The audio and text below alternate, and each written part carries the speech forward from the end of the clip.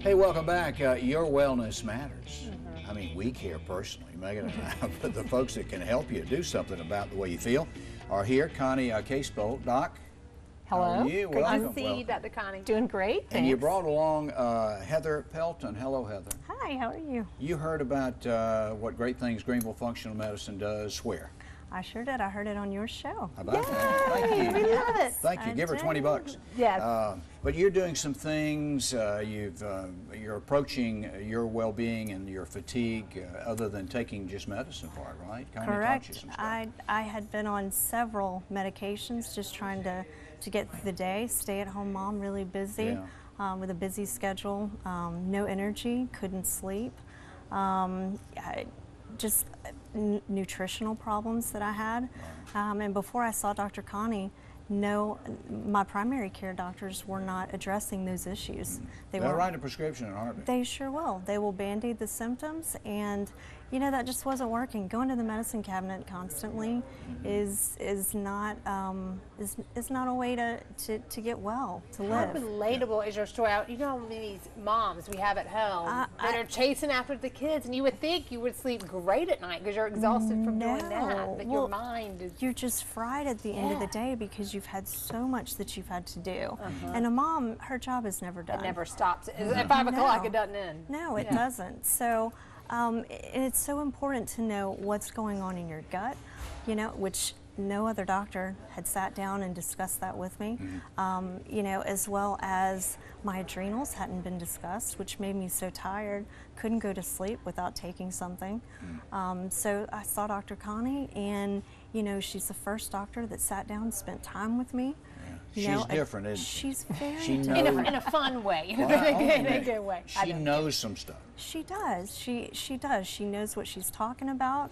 She cares about her patients, Yeah. and she spends the time to find out what is wrong and address um, the root of the problem and not the symptom. Right. Which you find yourself, you know, as you go to your primary care, they're just going to address each symptom that you have. And we do need primary care physicians. we do That's not a question. absolutely, Connie will absolutely. tell you that. Absolutely. Connie's just got a little uh, more knowledge on certain areas. She does. She as a does. doctor. Right. Well, Absolutely. uh, Connie, I do have to say, may I call you Connie? I mean, I've known you quite a while. Yes. Uh, we, I, I have had the hormone replacement. It affects my life. And, uh, but- Fantastic. But, again, there, there are the uh, things, and I know you have seminars or dinners where you educate people as to what you offer at Greenville Functional Absolutely. Medicine. Yes, we have frequent seminars. You we do? just had one last night. How did that go? Um, very well. People are excited to learn that there are options, there are alternatives to just taking all these medications, which produce side effects. Right. So I would encourage people to call the office and find out when our next seminar is, Okay. because that's the best way that I can introduce to them, you know, the scope of services that we offer, and give them the hope that they can get better instead of just staying tired and sick.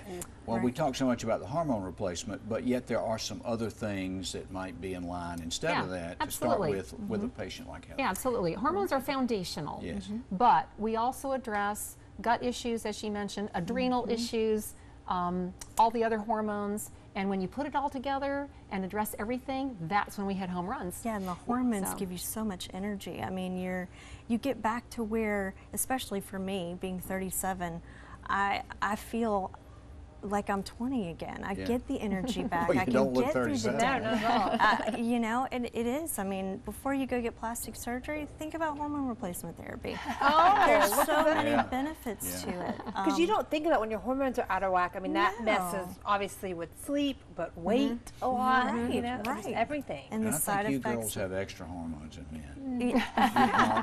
They do. We're more complicated, More no question. complicated. That's why you love us so much. we are.